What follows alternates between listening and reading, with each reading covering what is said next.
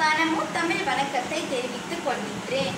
என் பெயர் தருண தவனீசன் நான் தேசிய வகை கூழா எழுப்பம் தோட்ட தமிழ் பள்ளியில் பயில்கிறேன். முதலில் இந்த அற்புதமான வாய்ப்பை தந்த இந்து சமய சங்கத்திற்கு எனது கோடான கோடி நன்றிகளை தெரிவித்துக் கொள்கின்றேன். இன்று நான் கோவிட் நைன்டீன் விழிப்புணர்வை பற்றி கூற உள்ளேன். டிசம்பர் முப்பத்தி ஒன்று ஈராயிரத்தி பத்தொன்பது அன்று என்னவென்று கண்டறிய முடியாத. நிமோனியா வைரஸ் காய்ச்சல் சீனாவில் இருக்கும் உஹான் நகரத்தில் சு- சுகாதார அதிகாரியால் தெரிவிக்கப்பட்டது.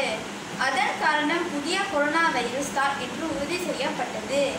இதை ஈராயிரத்தி பத்தொன்பது புதிய கொரோனா வைரஸ் அல்லது கோவிட் நைன்டீன் என்று அழை அழைக்கின்றனர். இது சாதாரண காய்ச்சலிலிருந்து மிகவும் கடுமையான நோய் தொற்றான மூச்சடைத்தல் நிமோனியா அல்லது கடுமையான சுவாச நோய்க்குறி சார்ஸ் போன்ற நோய்களை ஏற்படுத்தும். இதன் மூலம் பாதுகாக்க இவ்வழிகளை நாம் கடைபிடிக்கலாம் முதலில் உங்கள் கண்கள் மூக்கு வாய் தொடுவதை தவிர்க்கவும். வெளியே செல்லும் முன் முகக்கவசம் அணிய வேண்டும்.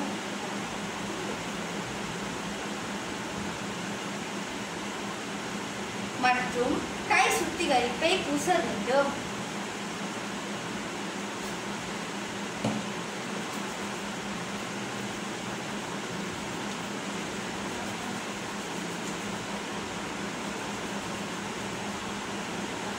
நோய் தொற்றவரிடம் தொடர்பு கொள்ள வேண்டாம். நோய் பட்டிருந்தால் நாம் வீட்டிலேயே இருக்க வேண்டும். முகக்கவசம் அடி முகக்கவசம் அணிந்த பின் அதை குப்பை தொட்டியில் போடவும் தவறு. சரி.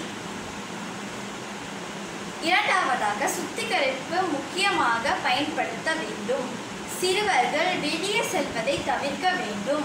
பெரியவர்கள் வெளியே செல்ல வேண்டும் என்றால் எஸ்ஓபியை கடைபிடிக்க வேண்டும்.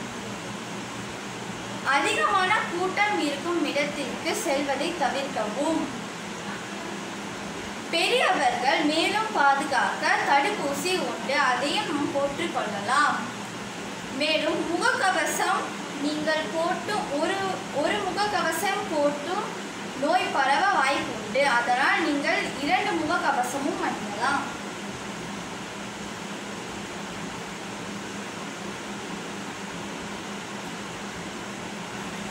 அல்லது துணி முகக்கவசமும் அணியலாம்.